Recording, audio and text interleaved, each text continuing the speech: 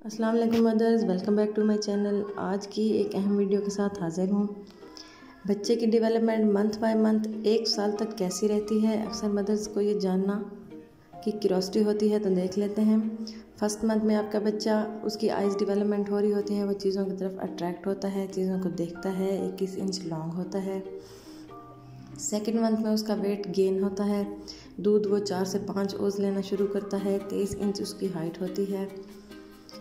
और वो अपने साथ इटकेलियाँ करना पसंद करता है। थर्ड मंथ में ग्रोथ बच्चे की 24 इंच तक चली जाती है और उसको बाथ लेना और एक्टिविटीज़ करना अच्छा लगता है। फोर्थ मंथ की एज में बच्चे का वेट 16 पाउंड्स तक हो जाता है और वो तकरीबन पाँच ओज तक दूध लेता है।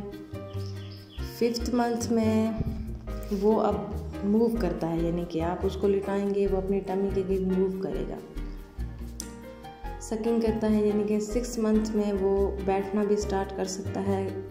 यानी कि सिक्स मंथ एक ऐसा टाइम है जब बच्चा बैठना स्टार्ट करता है। कुछ बच्चे सेवन्थ और एट मंथ में भी करते हैं।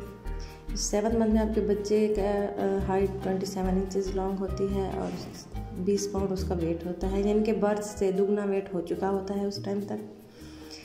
एट मंथ में बच्चा क्रॉलिंग करना स्टार्ट करता है। ये बहुत अहम एक टाइम होता है। यानी कि मिनिमम टाइम नाइन मंथ है। नाइन जब बच्चा क्रॉलिंग स्टार्ट करता है नाइन्थ मंथ में बच्चा मूव करने की कोशिश करता है। जब आप उसको चीज़ें दिखाते हैं तो वो अट्रैक्ट होता है चीज़ों की तरफ़। टेंथ मंथ में वो 21 पाउंड उसका वेट होता है और फोर ओज वो दूध लेता है, यानी कि अब वो साथ ठोस गज़ा लेना स्टार्ट कर चुका है। एलेवंथ मंथ में बच्चे के चार दांत निकल आते हैं। दो उसके, यानी कि आठवें नौवें महीने में निकलते हैं और ग्यारहवें महीने तक चार हो जाते हैं। दो ऊपर, दो नीचे। और बारहवें मंथ में बच्चा चलना भी शुरू करता है, यानी कि ये पहला मंथ होता है जब बच्चे चलना स्टार्ट करते हैं। वैसे कम कम अज़ कम रेंज 18 मंथ तक होती है तो मदर्स ने परेशान नहीं होना।